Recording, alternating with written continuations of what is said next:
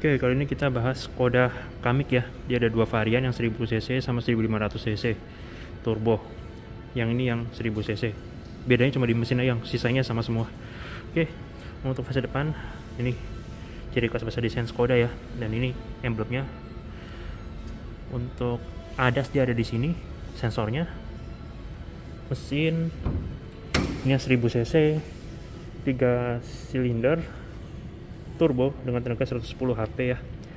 Torsinya 20 kgm ini udah kasih peredam juga itu untuk lampu di atas ini seinnya ya sequential sekaligus JDRL lampu utamanya LED projector lampu besarnya cluster reflektor di dalam. Depan ada dua pon sensor empat ya total kiri sama kanan kalau digabung velg single tone aja rem depan cakram di sini. Untuk profil bannya sini dia menggunakan 205 55 R17 sini juga ada di spion di atas ada roof rail juga. Ini SUV terkecilnya Skoda. Oke kita coba lihat tangki. Nah ini mintanya RON 95 ya 95 ke atas dan ini juga ada kerucutnya. Bisa taruh sini tetap aja jadi nggak gerak krim pakai body ini dia roof railnya ada Nessia fin approach spoiler, Hemon stop lamp, rear defogger, dan rear wiper stop lampnya LED bar, sign sequential seperti itu, LED juga di bawah. Di belakang ada empat warna sensor. Ini tulisannya Kamiq dan ini tulisan Skodanya dia dari chrome. Coba buka. Walaupun entry level tetap dikasih power back door. Seperti ini. Ini untuk partisi kemudian ini ada gantungan. Di pengikat lagi. Ini dapat penyimpanan. Di bawah ini dapat penyimpanan lagi ya. Dan dia harus di lantai barang gak usah diangkat. Bisa langsung didorong aja. Kemudian di kanan ini ada lampu bagasi. Ini. Nutupnya juga di sebelah kanan sini kita ban di belakang secara overall itu. Fog lamp belakang adanya di sebelah kiri. Oke kita coba masuk ya. Ada akses mati di sini. Kemudian ini spionnya.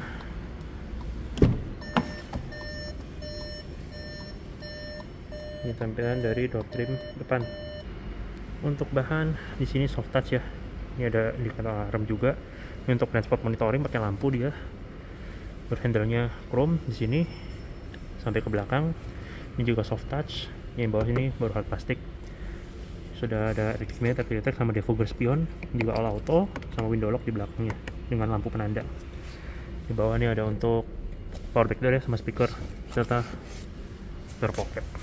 Lampu di pintu ada di bawah sini ini penutupannya sampai atas ini aja. Bawah masih terekspos sih masih bisa mengotor celana. Pengaturan sini manual termasuk lembar support juga manual. Sini ada tempat penyimpanan. Ini untuk lampu-lampu ya. Headlamp juga sudah auto. Kisi-kisi AC bisa diatur. Dan dibuka tutup. Ini modelnya keluar begini estetik. Juga bahannya soft touch sampai atas. Oke, kita coba masuk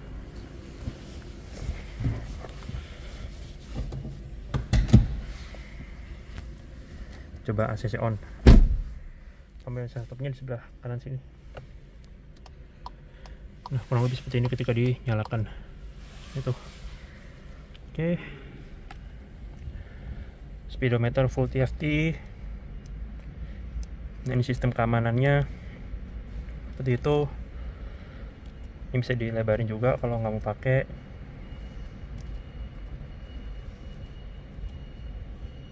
Ini ada untuk musik bisa ditampilkan di sini telepon peringatan trip meter dan fitur radar. Seperti itu. Oke ini ada untuk adaptive cruise control ya. Untuk indikator yang kanan ini bensin yang di kiri ini suhu mesin. Oke sini untuk saklar lampu sein sama high beam sama lampu parkir.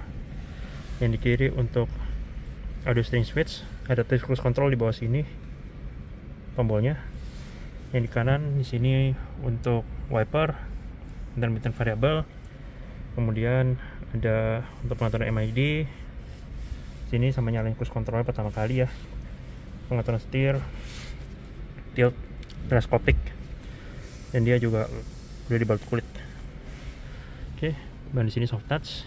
Ini untuk tampilan dari MID seperti ini ada shortcut volume juga ya, ada untuk radio, telepon, smart link, media, musik, suhu seperti ini.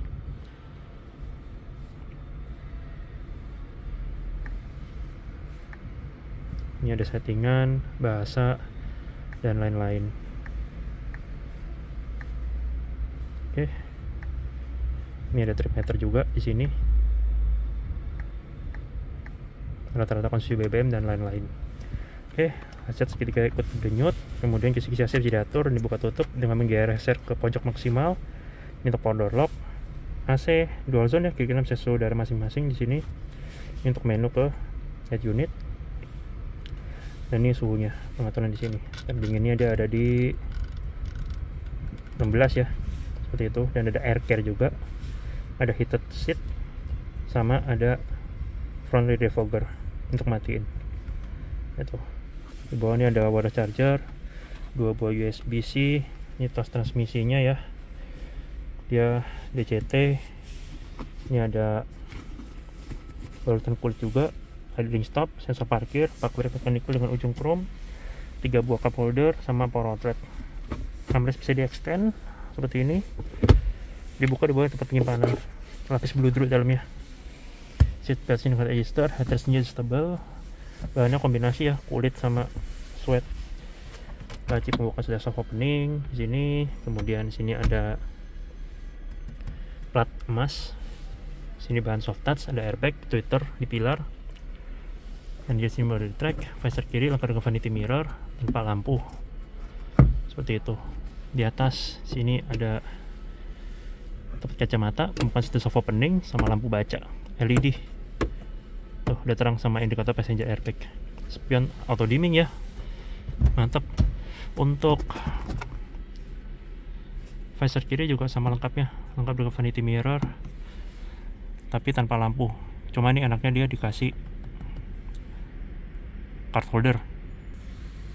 Oke di sisi driver masih dikasih hand grip dan ini tampilan dari kabin depan secara keseluruhan. Kurang lebih seperti ini. Itu untuk sistem ketika dimatikan jadi seperti ini. Nah itu ada animasinya. Oke. Di belakang sini juga dikasih hand grip moderator dengan hook. Ini tempat taruh aksesoris. Lampu di atas sini.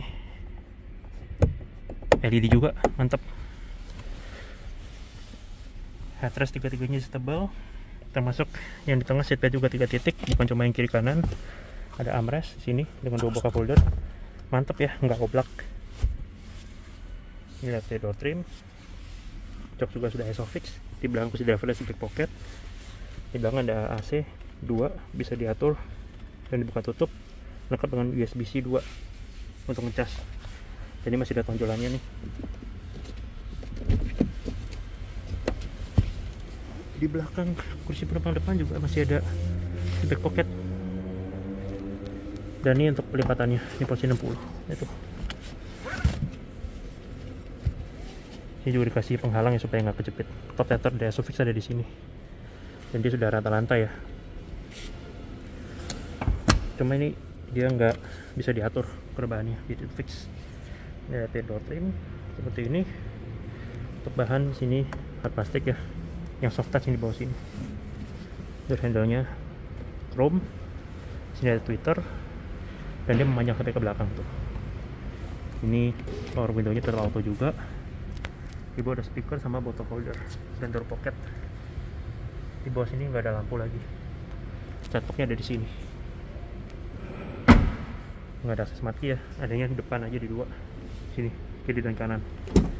Di penumpang depan. Ini lihat door trimnya. Pengaturan sini manual. Termasuk nomor support sama reclining. Ini slidingnya ada tuasnya khusus. Sudah tombol langsung untuk matiin adaptasi penumpang depan. Tapi tidak spotnya sih penumpang depan. Itu oke terima kasih tentang video saya mengenai Skoda Kamiq harga sama lambat temukan kontak nanti saya taruh di kolom deskripsi. Oke sekian